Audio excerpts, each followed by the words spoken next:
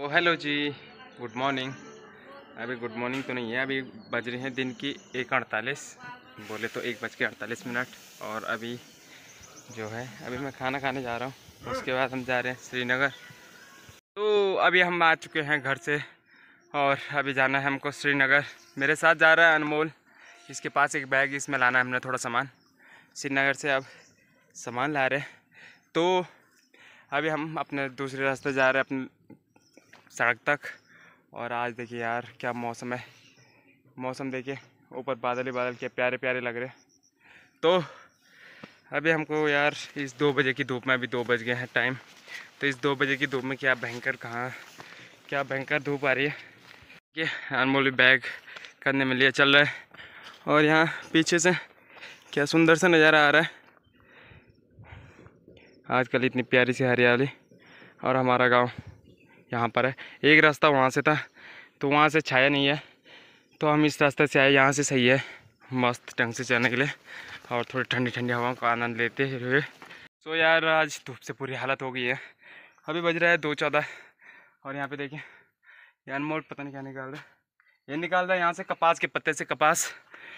यहाँ कपास के पत्ते, अभी इस पर लगा नहीं है कपास।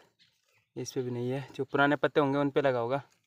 पीछे से जैसे ये देखिए ये रहा जैसे ये जैसे ये इससे निकाल इससे इससे निकाल ऐसे ये कपास ऐसे निकालते थे पहले हम छानी में दादाजी निकालते थे ये वाला जो ये वाला होता है इसके पीछे से कुछ लगा होता है सफ़ेद सफ़ेद पर इन पे नहीं है इनसे हम पहाड़ी टैटो बनाते थे इससे मस्त छपाई होती थी पर इन पे नहीं है अभी लगा हुआ क्योंकि बरसात से धुल गया होगा यहाँ से देखिए आसमान क्या व्यू क्या सुंदर सा आ रहा है और हमारी सड़क वहाँ पे तो हमको जाना है यहाँ से अपने स्कूल से होते हुए।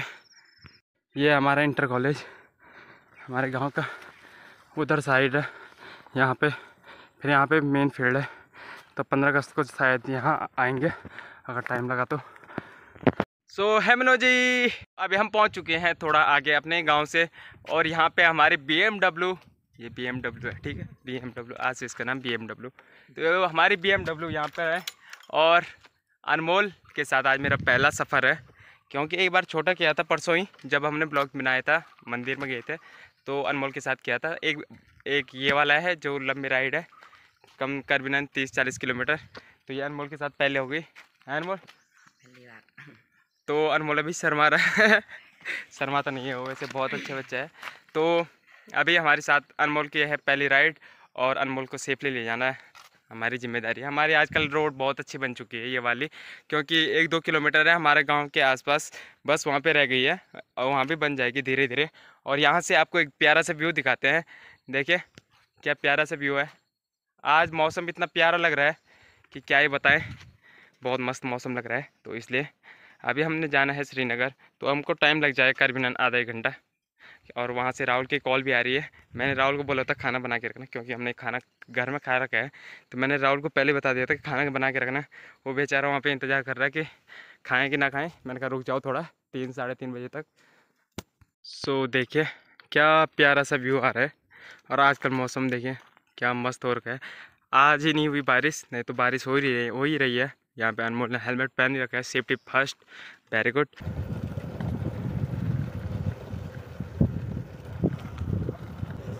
So देखिए, आजकल क्या मस्त से हरियाली हो रखी है।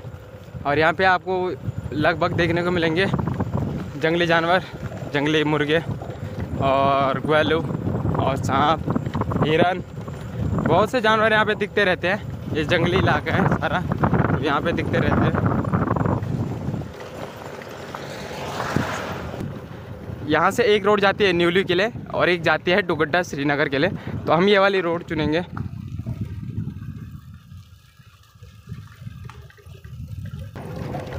इसी रोड पे आगे पे एक और रोड आएँगे तो वहाँ से टिहरी के लिए, ऊपर के लिए है, श्रीनगर के लिए नीचे। तो अभी हम पहले इस वाली रोड पे जा रहे हैं।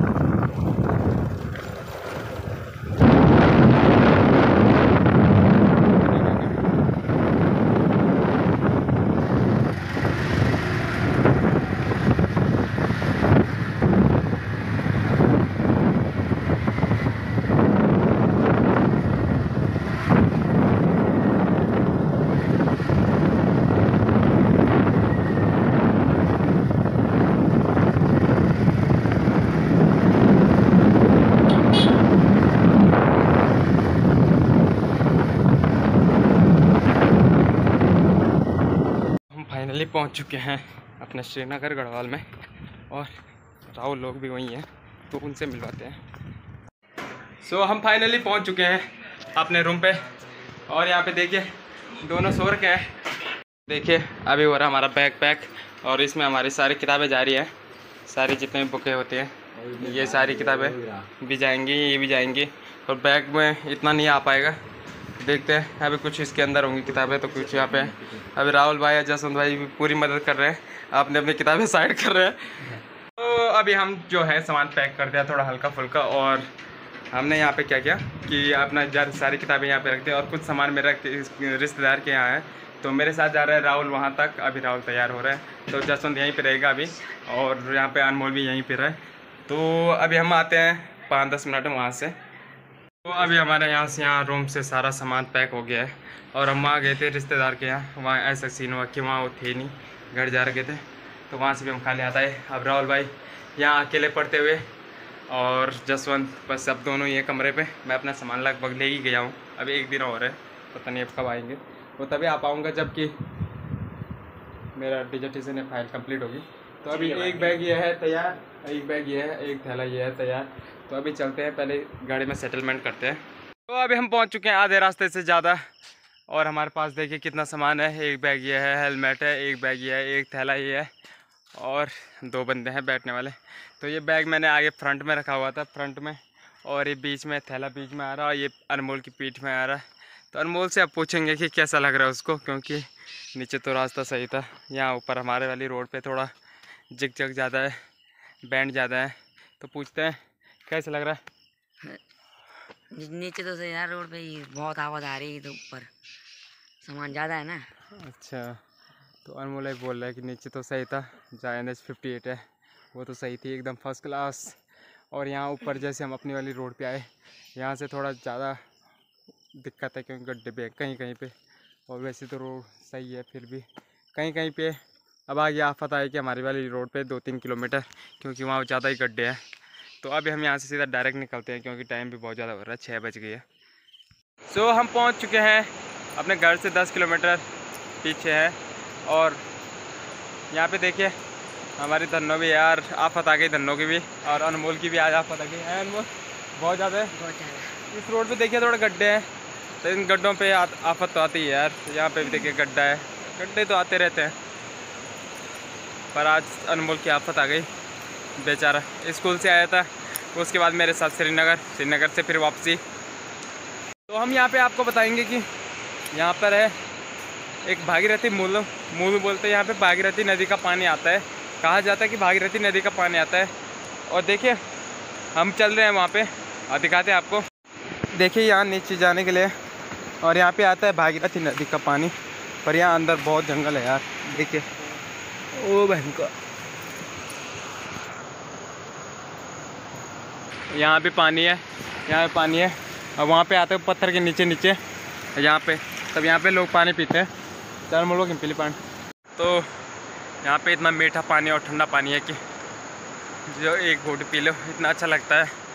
अब हमारी धनों की एक और आफत है और एक और चढ़ाई हमारे गाँव के। वो चढ़ाई पार कर देगी। फिर उसके बाद हम अपने गाँव में, फिर उसके बाद मिलते हैं आपको सीधे। अपने लोकल मार्केट खोड़दू में। चुके हैं अभी साढ़े सात बजे घर में।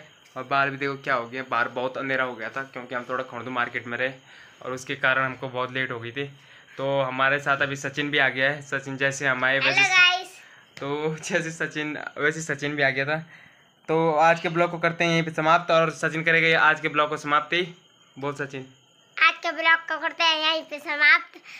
और हमारी वीडियो को लाइक करें शेयर करें। करें सब्सक्राइब करें।